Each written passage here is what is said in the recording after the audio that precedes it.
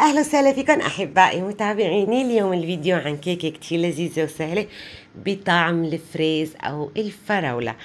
كيكه ما فيها تعب ابدا مكوناتها كتير بسيطة. إذا كنتوا أول مرة بتشوفوا قناتي لا تنسوا تضغطوا على مربع الاشتراك والجرس. لتوصلكم إشعارات الفيديوهات الجديدة واهلا وسهلا فيكم. وإذا كنتم متابعيني كمان أهلا وسهلا فيكم. وهذا هو الكيك لليوم ورح نعمل فوقه صوص الفراولة صوص كتير لذيذ وممكن نستعمله بحشوات كتير للحلويات ولل donut ولل Swiss roll وكتير من الحلويات التانية. رح نبدأ بتحضير الكيك. عندي أربع حبات من البيض البيض بحرارة المطبخ طالعناه من البراد قبل بوقت.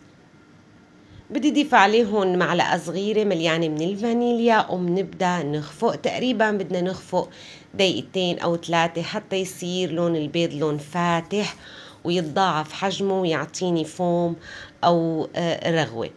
هلأ ببدأ بضيف السكر. بالتدريج عم أضيف سكر عادي نصف كوب من السكر العادي اللي بيحب الحلاوة أكتر بيزيد أكتر سكر بس أنا لأنه بدي أحط صوص فريز فريز على ال topping فضفت بس نصف كوب من السكر العادي ولساتنا عم نخفق حتى يبدأ السكر يدوب.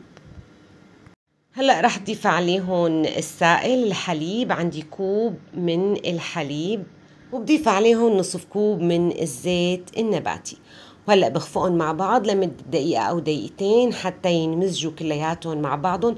طبعا شعلنا الفرن درجة حرارة 170 ل 175 وهلأ بدنا نبدأ نضيف النواشف.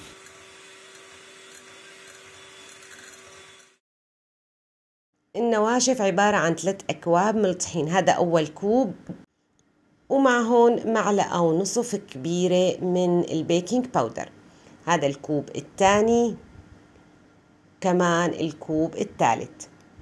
كلياتهم بنخلون فوق السوائل بهي الطريقة. وهلا بدي ارجع هيك حركهم بال whisk أو ب spatula حضيف عليهم هلا لعزز نكهة الفراولة. عم اضيف مربى الفريز قطع فريز مكرملة مقطعة عم ضيف كمان فريز مجفف فيكم تضيفوا أي نوع من أنواع الفواكه. بس أنا اليوم الكيك كله بنكهة الفراولة أو بنكهة الفريز. كمان هيك عم قطعون هذا dry strawberry وب mix هيك بخلطهم خلطة سريعة بس يختفي اللون الأبيض أو يختفي الطحين بيصير جاهز المزيج. هلأ المربى بيعطيني شوية لون pink بتلاحظوا لما بيختلط بيعطيني لون مختلف. ودهنت القالب اللي بدي أستعمله اليوم بشوية زيت وممكن ندهن بشوية سمن أو شوية زبدة أو طحينة بالراشي. ومنحط هالخليط كلياته بقلب القالب اللي عم بستعمله اليوم. وننتبه لما نستعمل هاي القوالب اللي فيها كتير تقسيمات وتفاصيل إنه ندهنها منيح بالمادة الدهنية حتى الكيك ما يلزق.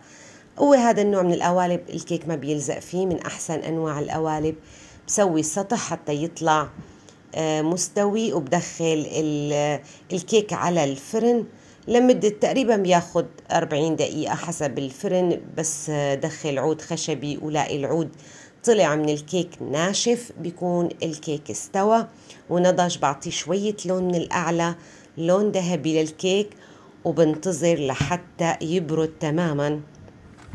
قبل ما نطالعه من آه، من القالب. هلا رح أحضر الصوص عندي اليوم. أنا فراولة أو فريز مجمد وممكن نستعمل فريز طازج مجرد إني حضيفه بكسرولة وضيف معه شوي من السكر أنا ضفت تقريبا آه، تلتين الكوب من السكر ممكن أقل ممكن أكتر.